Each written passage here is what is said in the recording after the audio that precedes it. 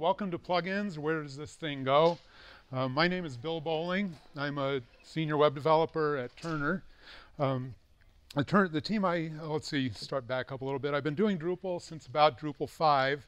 Uh, for the last three years, I've been a little more serious about it, uh, working at Drupal 8. Uh, the, I work at the core services group at Turner. I've been there for about three years now.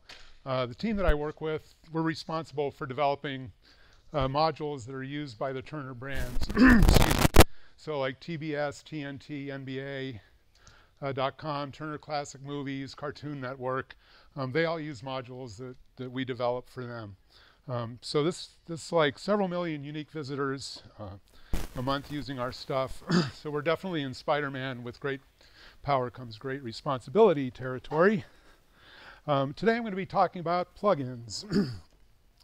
so they can seem a little bit daunting, but they're really not all that complicated uh, once you play around with them a bit. So I'm going to be talking about this today, uh, what plugins are. I'll be describing the Drupal plugin API a little bit, um, how to use plugins that are already there in Drupal, how to create your own plugins, as well as a couple of advanced topics.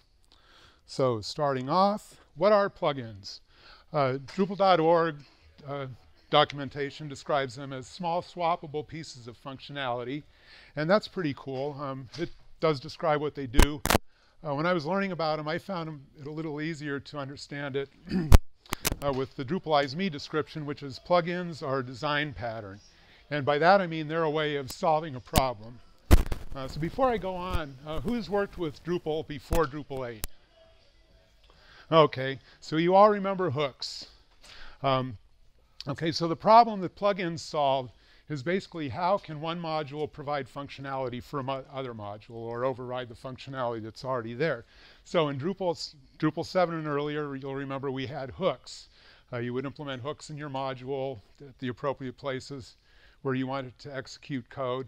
And that was cool, except that every time Drupal upgraded to a major version, all the hooks, you know, or maybe not all of them, but a whole lot of them would go away. So you'd have to go through your module, find the hooks that had been replaced, find the replacements for them, learn how to use those, change those all out into your module, and then away you go. And then the next major version would come along, rinse, repeat. It was kind of a drag. Um, now Drupal 8 comes along, we've got objects and classes now. So now we can extend classes and override methods in those.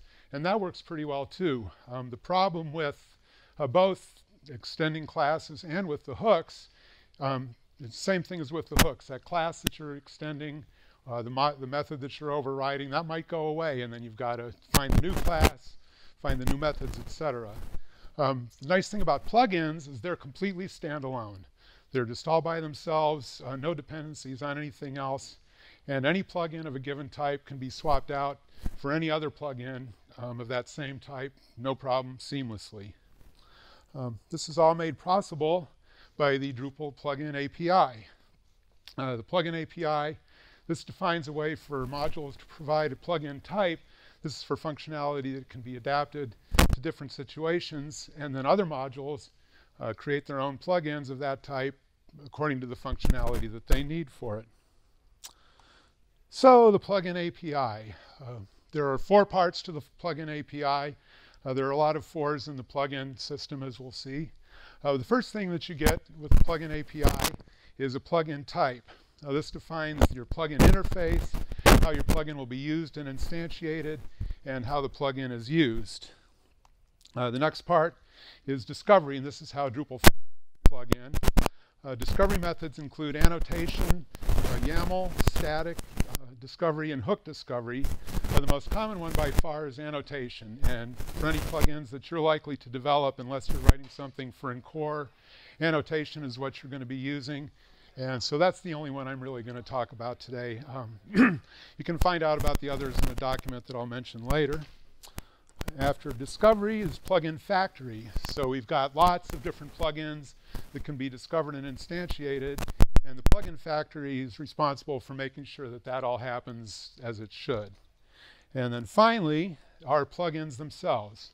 And a plugin is simply an implementation of a plugin type definition. Um, that's all it is. So how do we use plugins? This just go over some standard Drupal ones and show you how to just use one out of the box if you want to. Um, so in core, we have plugins for blocks, menus, field types, field widgets, field formatters, uh, REST resources, image effects and formatters, validation constraints, data types, and views.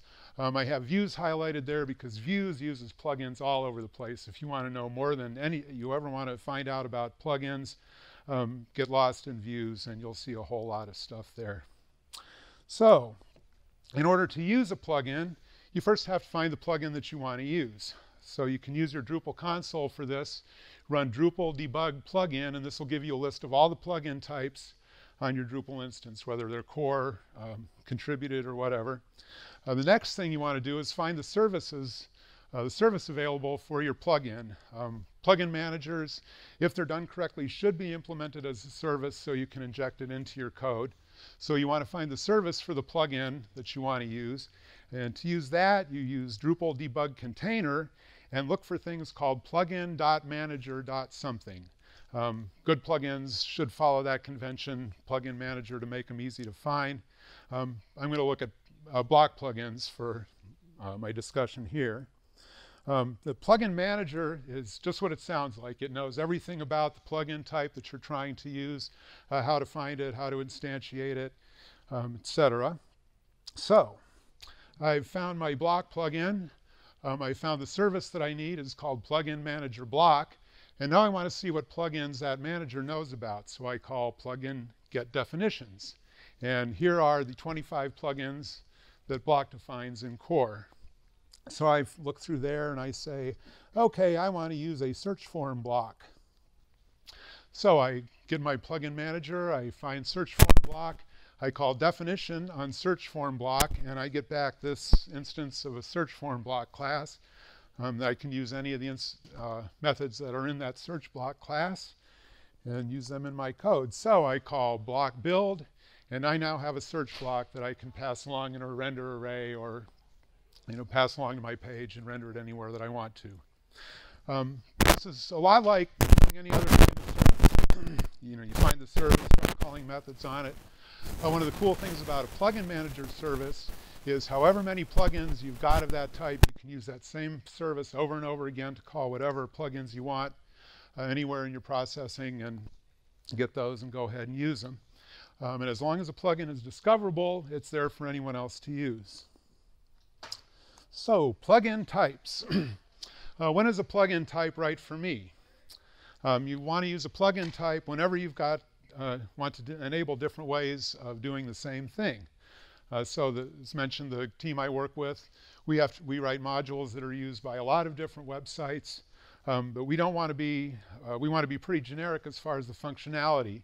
Um, a lot of the times we have a class, certain class that we'll need uh, to use, you know, to continue our processing, but we don't have any idea where the data is coming from on the brand site. So what we'll do is we'll implement a plugin type uh, the brands then will go ahead and implement the plugin that they need to give us the data that we need from the sources that they have. So, how do we create a plugin type? Well, first, uh, let's go over what a plugin type consists of. Uh, it's pretty simple, fours again. Uh, there's an interface that ensures that your plugins are all swappable a base class that extends this interface and extends the uh, plugin base class, a plugin manager to keep track of the plugins, and then the annotation file, and this defines the properties of your plugin. And then you also, as mentioned before, you want to make your plugin a service. So, um, for my example here, I'm going to use musicians. Um, I said, you know, you've got different ways of doing the same thing. Musicians do that. Musicians play songs um, there are, anybody know how many musical instruments there are in the world? Um, but, so we've got musicians. So what we can do is implement a musician plugin type, and then when we want to have a different instrument, we just implement a musician uh, plugin for that. So I'm going to, I generate my plugin uh, using this Drupal generate plugin type annotation, and this will generate these four boilerplate files for me. Uh, I've got the annotation file, the uh, base file, interface, a manager, It also registers my manager as a service and then creates this directory inside of my module, uh, properly namespace according to how I've passed it in uh, when I ran that console command. And any other module now that wants to have a musician plugin, they'll put this same directory under their module structure and my plugin manager will be able to find it. So the most interesting pieces of these here um, is the plugin manager. Um, this is really pretty simple. The only function you need to have in here is the construct, uh, the constructor here. Um, it tells Drupal that our musician plugins will be under plugin musician. It tells it where our interface, what the interface is that we're implementing, and also tells us, uh, tells it what annotation file to use. Um, the annotation file just says that, okay, this is a plugin, and then here are the attributes uh, that I want to have for my musician. I've just got them really simple here. A musician would obviously have a lot more than just a name and an instrument, but I don't want to list all that out. Uh, so we just keep it pretty simple here. Um, if you need, need more than what you get from the default plugin manager, uh, there are a couple of traits here that can help you out a lot. Uh, the categorizing manager plugin trait for when you have plugins uh, based on a category key. There's a filtered plugin trait that allow filtering plugin definitions. And then the plugin dependency trait um, for calculating dependencies on the of the plugins. Um, I haven't used any of these, so I can't really tell you a whole heck of a lot about them, but they're out there. So what is a plugin? Um, the, musician is a plugin type. So a plugin would be a guitarist here, say, would be a plugin. Um, you can use the console if you want to generate the common plugin types, the ones that are in core. There's a Drupal list generate plugin function, and that um, that'll list the plugins that the console can help you generate. If you don't have that, um, you'll have to the recommended method is that you copy and paste from a working example of that plugin. Um, I don't have any of those, so I'm going to have to start from scratch here. So here's my, my first plugin is going to be for a guitarist, maybe because that's what I do. So I create a guitarist plugin. It's in the source plugin musician namespace, as you know, we saw specified earlier. Um, it says that this is a musician plugin type, and these are the attributes that my musician are, is going to have, and then I extend the musician plugin base or the musician base. Uh, musician base would probably just have that would probably just have a play method. I don't really know. I haven't implemented the whole thing, but then now in my guitar class, um, I can extend that, and that would be all the methods that would be specific to playing guitar. So like tapping, uh, various um, styles of playing guitar would go into there. Um, now that I've got that, anyone who wants to can go ahead and get my guitarist. They'll call them uh, the musician plugin manager, which we can think of as like a union rep. Say, hey, go, go ahead and give us um, uh, some musicians. So I ask the union representative for a guitarist. They give me a guitarist. Uh, my guitarist starts playing Stairway to Heaven. Um, then you can do this very same thing for any other instruments that you want to have musicians for. Um, that's pretty cool, but I don't want just any guitar player. I want Mark Knopfler. I want Bonnie Raitt. I want Keb Mo. I want Wes Montgomery. I want somebody I know who can play. Um, so what am I going to do about that? um, we can create plugins every time we want to have a new every time we want to have a new guitar player. That's kind of a drag. Uh, we have to create a JIRA ticket. We have to assign a developer to that ticket to implement the plugin. Um, they have to file a PR. Somebody has to review that PR. We have to send our plugin to QA. It's got to go through QA. We have to merge it into our master branch.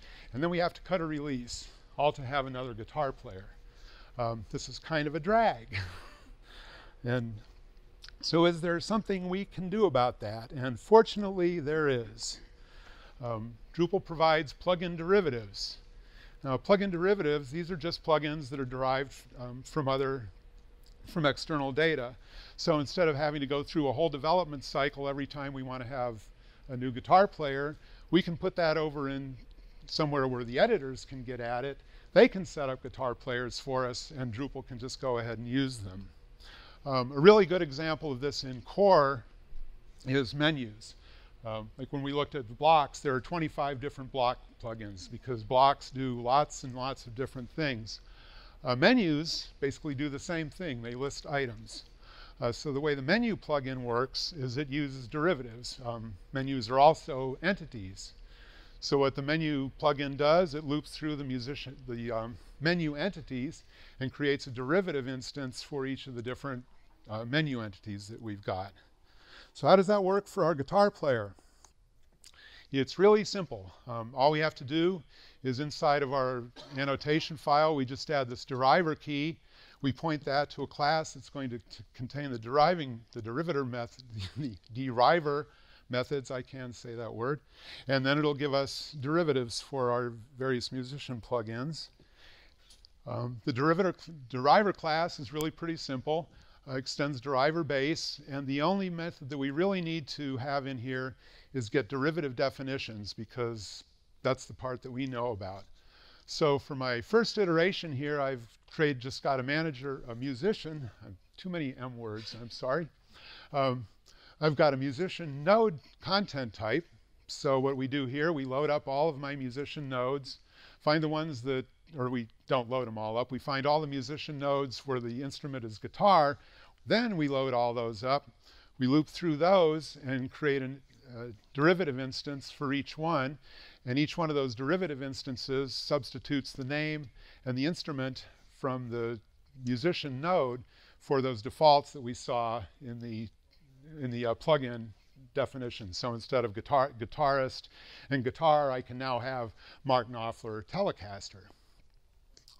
Once I've got my derivatives set up, okay, now we go back to the union rep and we ask for get definitions. Um, now remember earlier when we looked at the manager, um, like the block plugin manager, we asked for get definitions and it shows us all the different block definitions. Um, now we call get definitions and pass it a parameter uh, behind the scenes, our plugin manager is going to find all the derivatives and it's going to return an array of guitar players for us. So now I've got, I see here that, oh, guitarist four is Mark Knopfler. So I ask musician manager for guitarist four. Now I have Mark Knopfler and he can play money for nothing. Can you pass multiple parameters through that? Um, let's see. I don't know. Okay. I haven't tried that yet. I'm thinking not. Um, yeah. No, I, my guess would be not, um, but I'd have to play around with that some. Um, but uh, we still have a we still have a problem as you know we before we've still got you know how many guitar players in the room for one, and then how many in the world. We can end up with a whole lot of guitar players. Uh, we don't want all of them to show up at once. So what can we do about that? Uh, Drupal for that provides what they call plugin collections.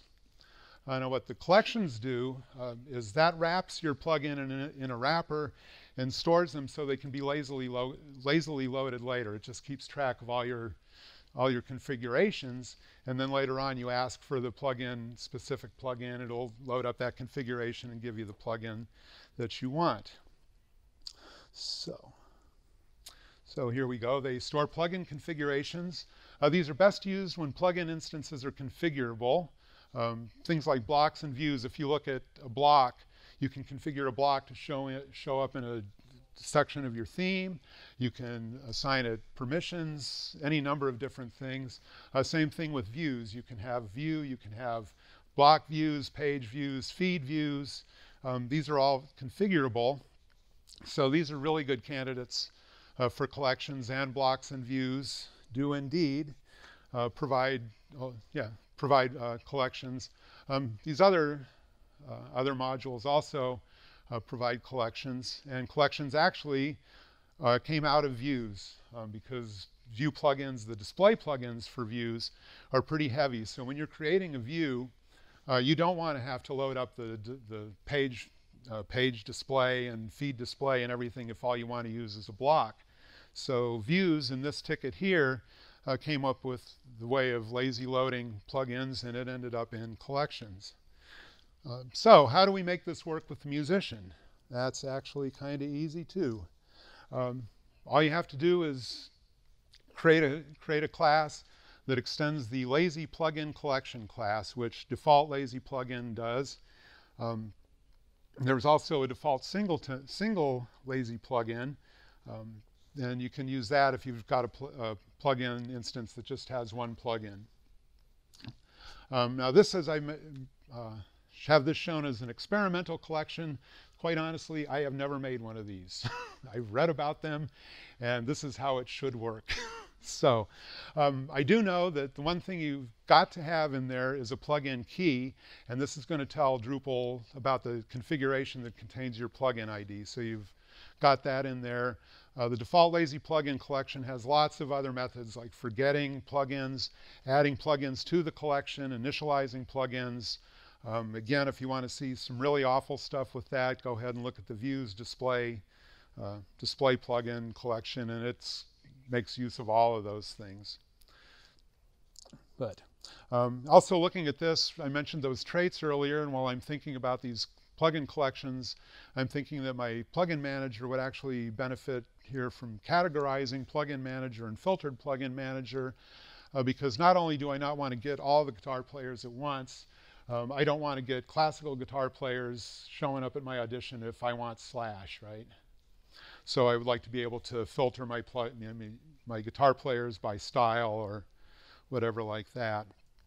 But I don't have those in this iteration. That'll probably be in the next ticket. So once I've got uh, my collection, I can now, instead of calling the manager, I just go to the collection and I say, get my guitarists.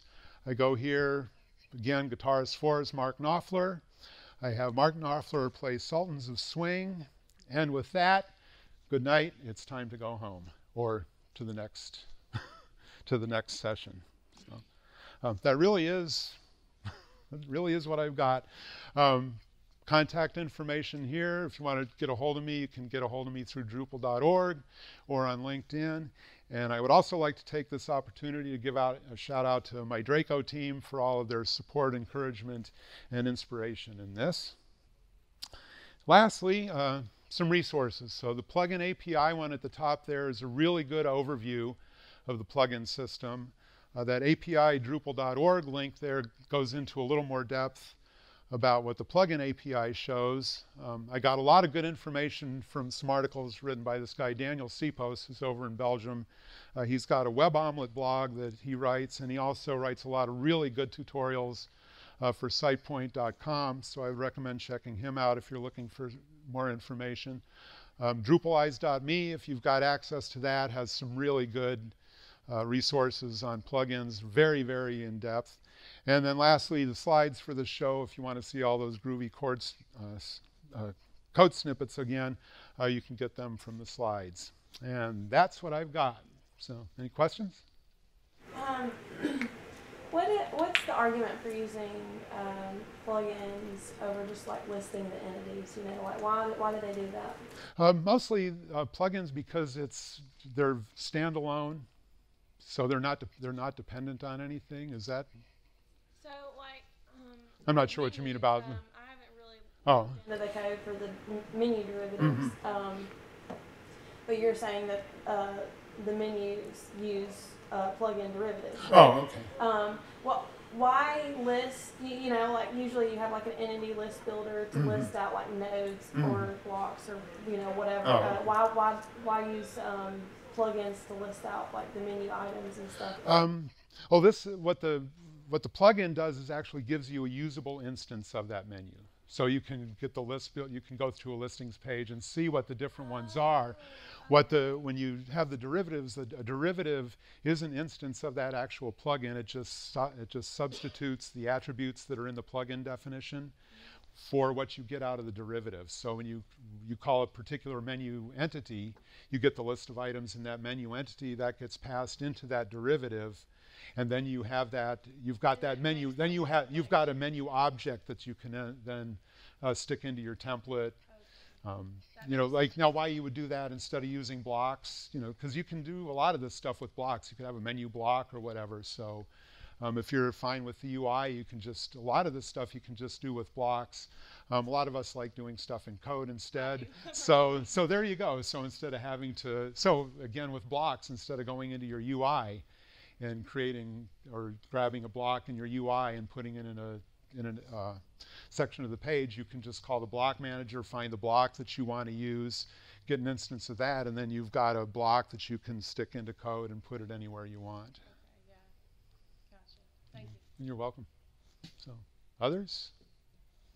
I can't have done that good a job. or did I? Apparently. Oh, well, well, all right then. Um, 20 se- 25 minutes. I might be the shortest thing in the presentation in the whole thing. Um, but no, thank you very much.